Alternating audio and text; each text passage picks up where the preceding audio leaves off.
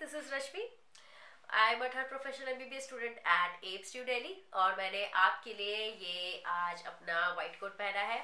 इसमें you can see my badge और I hope कि this is one this is something you wanted to see from very long so just for you I wore this in this video and you can see I'm just talking in front of the camera because my mic has gone uh, wrong so आपको ऐसी आवाज़ सुनाई देगी अभी।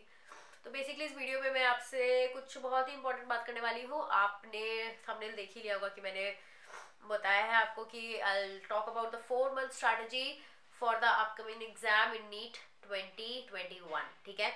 तो basically guys I have made all the strategies video which are required actually ठीक है?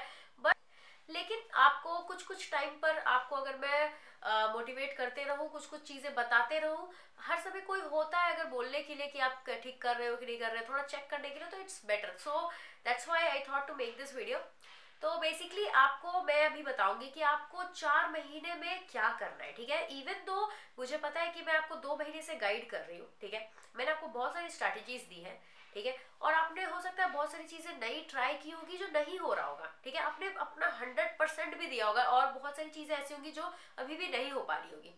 तो मैं आज आपसे यही सब बातें करूँगी कि अगर फिर भी आपने अपना दो महीना बर्बाद कर दिया है, या फिर आपको लगता है कि आपने बर्बाद कर दिया है, ठीक है? जो कि आपने नहीं किया, मैं अभी आपको एक्सप्लेन करूँगी कैसे, ठीक है? तो पूरी वीडियो लास्ट तक देखना, मैं अभी बहुत कुछ बताऊँगी। मुझे बहुत सारे इंस्टाग्राम पर डीएम्स आए हैं, ठीक है?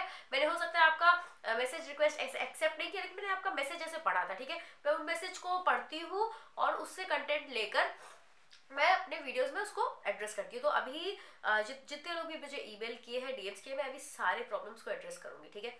तो अभी गाइज़ अभी क्या आपका माइंडसेट है ना? अभी बेसिकली आपको लग रहा है कि आपने दो महीने बर्बाद कर दिए। बहुत सारे स्टूडेंट्स ऐसे होंगे इवन तो आ, कुछ स्टूडेंट ऐसे होंगे जो जिनको लग रहा हो कि उन्होंने तो बहुत अच्छा पढ़ लिया ठीक है? तो यार ज़्यादा खुश होने की ज़रूरत नहीं है ठीक है? अभी चार महीने अभी बैटल बाकी है भैया अभी बैटल बाकी है। दो महीने में कुछ बहुत ज़्यादा तैयारी करके खुश मत हो जाना ठीक है? आखिरी आखिरी दिन तक डिसाइड होगा कि तुम्हारा सिलेक्शन होना है कि नहीं। और जो जो बच्चे ऐसे सोच रहे हैं कि उनको, उनका तो सब गड़बड़ हो गया तो उनको तो डरने की ज़रूरत ही नहीं है भाई। क्योंकि मैं अभी आपको बताने वाली हूँ कि आपने क्या किया है एक्चुअली तो डर लग रहा है, ठीक है, डर लग रहा है क्या होगा, नहीं होगा, और मतलब नीट पोस्टपोन प्रीपोन यार, पहली बात तो यही बोलूँगी शॉर्टकट में ये डेट को लेके दिमाग लगाना छोड़ दो, ठीक है? डेट को भूल जाओ दूसरी चीज़, अपने टारगेट को भूल जाओ थोड़ा देर के लिए। अभी ये जो चार महीने है ना, अभी दो महीने बहुत मोटिवेट हुए, एम्स जाना है, एम्स जाना है ये कॉलेज जाना वो ए जाना है, मौलाना आज़ाद जाना है। अभी जो चार महीने है ना, भूल जाओ, ठीक है? अभी भूल जाओ कहाँ जाना है। सिंपल सी बात यह है कि अगर तुम्हें कोई कंपटीशन को निकालना है तो तुम्हें उसके रिज़ल्ट के बारे में सोचते जो आप रहते हो, उसको बंद करना होगा, ठीक है? आपको कहा जाना है, उसके बारे में सोचना आपको बंद करना होगा, ठीक है? और ये देखना होगा कि रास्ता कैसे जाता है। तो रास्ता क्या है? आपकी नीट की बुक्स, ठीक है? आपकी इलेवेंथ, ट्वेल्थ की बुक्स है।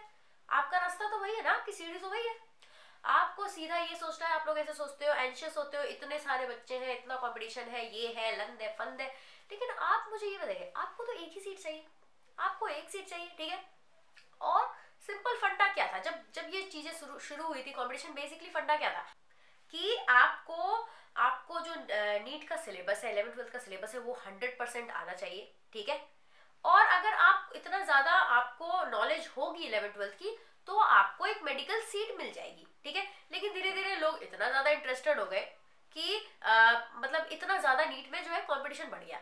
तो अभी भी लेकिन मोटो वही है ठीक है? मोटो अभी भी वही है। लेकिन इतने ज़्यादा कॉम्पिटिशन के कारण लोग बहुत कंफ्यूज होते रहते हैं, ठीक है? कि उनको आगे बढ़ना है, किसी से आगे बढ़ना उन्हें कॉम्पिटिशन करना है किसी से। तो आपको ये सब नहीं सोचना है। आपको बेसिकली सिर्फ़ ये करना है कि आपको बेसिक नॉलेज होना चाहिए, ठीक है? आपको, आपके कॉन्सेप्ट क्लियर होने चाहिए। बेसिकली आपको आपको ये सोचना है कि आपकी जो नीट की जितनी भी बुक्स है वो आपको आनी चाहिए, ठीक है? आपको सिलेबस पता होना चाहिए, आपका सारा कॉन्सेप्ट क्लियर होना चाहिए, ठीक है? अगर आपका ये आप इतना कर पा रहे हो, ठीक है तो आपका सिलेक्शन कोई नहीं रोक सकता है। आप लिख के ले लो। चाहे एक करोड़ बच्चे भी पार्ट क्यों ना ले रहे हो एग्ज़ाम में, को चाहे कोई कितना भी ब्रिलियंट हो, ठीक है? कोई कितना भी आइंस्टाइन हो, ठीक है?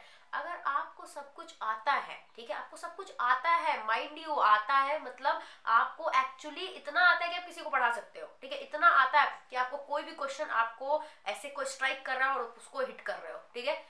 तब आपका सिलेक्शन कोई नहीं रोक सकता है, चाहे जो हो जाए, ठीक है? चाहे जो हो जाए। पहली चीज़ ये दिमाग में रखनी है, ठीक है?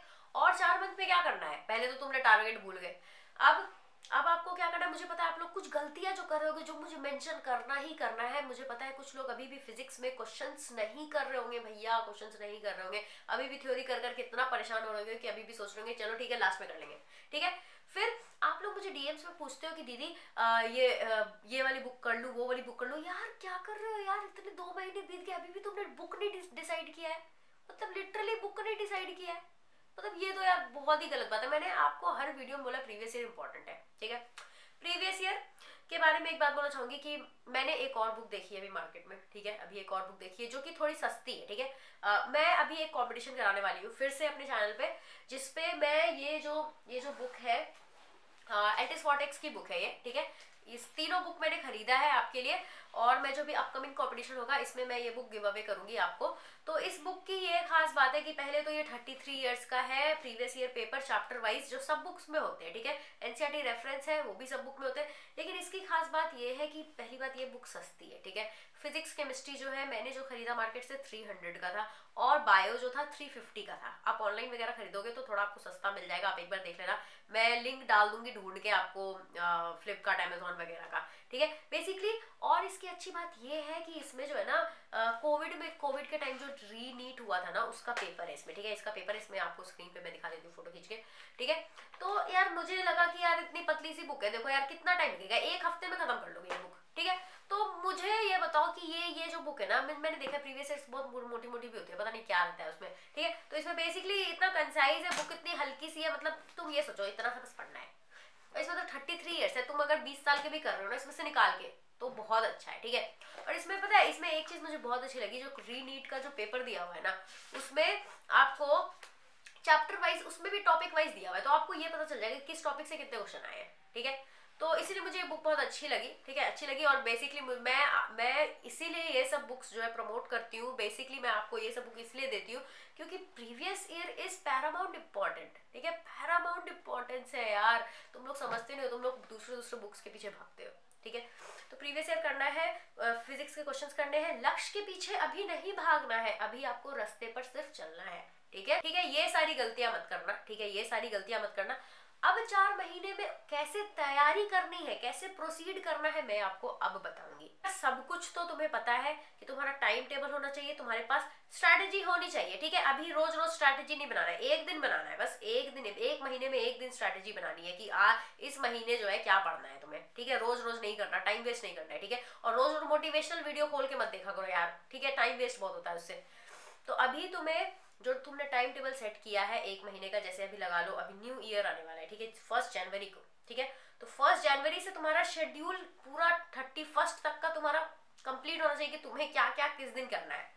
तो अभी हो सकता है कि तुमने जो है, जो मेहनत किया होगा, उसमें बहुत सारे जो तुमने ट्रायल्स किए होंगे, हो सकता है कि टाइम बहुत ज़्यादा किल हुआ होगा और कुछ टॉपिक्स ऐसे होंगे जो तुम्हें नहीं आ रहा होगा, जिसके कारण तुम बहुत डीमोटिवेट हो रहोगे, ठीक है? तो तुम्हें क्या करना है, एक लिस्ट बनानी है, ठीक है? एक लिस्ट बनानी है। जिसमें तुम्हें दो कॉलम्स में एक इजी एक टफ टॉपिक्स तुम्हारे अकॉर्डिंग क्या क्या है वो लिख लेना है, सारे सब्जेक्ट्स में, ठीक है? और वो टॉपिक्स को रेड टिक करना है जो जिसका सबसे ज़्यादा वेटेज होता है नीट में, ठीक है? जो रेड टिक करोगे, उससे हंड्रेड परसेंट कंप्लीट करना है तुम्हें, ठीक है? चाहे जैसे भी हो जाए, ठीक है? और जो तुम्हारे टफ वाले कॉलम है, बाकी जो नहीं हो पाएँगे, कोई दिक्कत नहीं है। लेकिन अभी जो दो महीने हैं तुम्हारे, तुम्हें उसमें सिर्फ़ अपने इजी टॉपिक्स जो तुम्हें आते हैं, जो तुम्हें इजी लगते हैं उसको करके खत्म कर लेना है। मतलब इतना कर लेना है, इतने अच्छे से कर लेना है, इतने फास्ट कर लेना है कि उससे उसे तुम्हें दोबारा देखना ही नहीं पड़े। ऐसा हो जाए वो बन के रखा जाए, ठीक है? बस अब आप ऐसे सोचो कि आपको अगर पूरा सिलेबस का 70 परसेंट ईजी लगता है 30 परसेंट टफ लगता है, और अगर आप 70 परसेंट करके खत्म कर दो और तुम्हारे दिमाग में सिर्फ़ ये रहे तीस कि तुम्हारे पास तीन महीने हैं और तुम्हें सिर्फ़ और सिर्फ़ 30 परसेंट सिलेबस को कवर करना है, ठीक है? जो कि टफ है। तो आपका दिमाग बहुत फ्री हो जाएगा, आप बहुत अच्छे से सोच पाओगे कि उसको करने के और क्या क्या तरीके हो सकते हैं। ठीक है? उसको करने के और क्या क्या तरीके हो सकते हैं। आप कोई नई बुक ट्राई कर सकते हो कि नहीं कर सकते हो? ठीक है? किस, किसी ऐसी टीचर के पास जा सकते हो कि नहीं, जो उस चीज़ में स्पेशलिस्ट हो? ठीक है? तो इसीलिए मैं कह रही हूँ, अभी अभी एकदम स्पीड में रेडी एकदम स्पीड में तैयारी करना, ठीक है? स्पीड में जो आपको इजी लगते हैं, ठीक है? थीके? और कोशिश करो यार, एक महीने में खत्म कर दो, ठीक है? एक महीने में खत्म कर दो। प्रीवियस ईयर लगाओ उसी चैप्टर्स के और फिर पचास पचास क्वेश्चन जो भी चैप्टर कर रहे हो उसके, ठीक है? और बहुत इंपॉर्टेंट जब आप टफ जब आप टफ चैप्टर्स जो है, जो आपको टफ लगते हैं, वो आप जब करने जाएँगे तो हो सकता है कि आपसे ऐसा होगा कि आपसे पाँच छः क्वेश्चन जो मतलब पाँच छः क्वेश्चन आपने ट्राई किया और वो आपसे बन गए।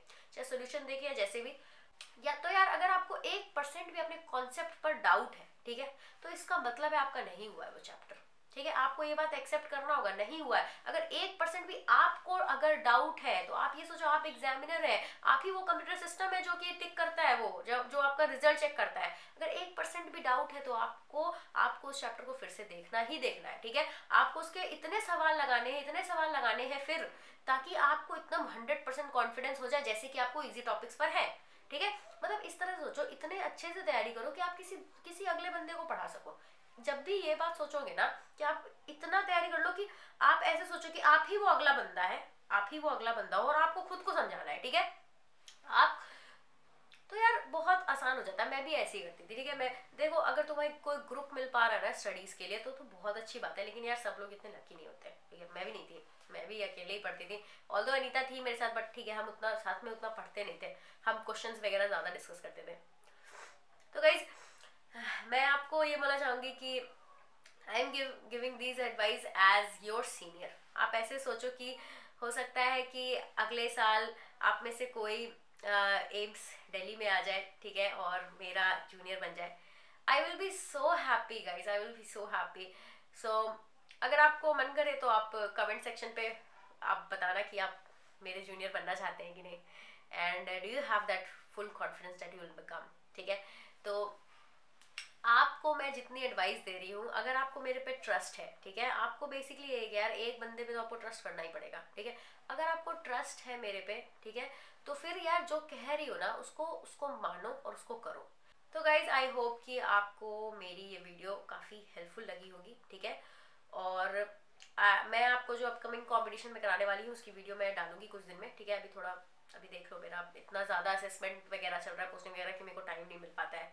तो ऑल द बेस्ट और कोई डाउट हो तो आप मुझे इंस्टाग्राम पर डीएम करने से ना हिचकिचाएगी, दीदी रिप्लाई नहीं करती है। यार, मैं तुम्हारा मैसेज देखती हूँ, ठीक है? मैसेज देखती हूँ और मैं उसके बारे में सोचती हूँ कि मैं क्या बोलूँ। सोच समझ लेती हूँ, उसके बाद आपको फिर वीडियो के थ्रू आपको रिप्लाई करती हूँ। और ईमेल भी करो यार, कोई दिक्कत नहीं है। मैं ज़्यादा से ज़्यादा कोशिश करूँगी कि आपको रिप्लाई करूँ, ठीक है? So all the best and see you bye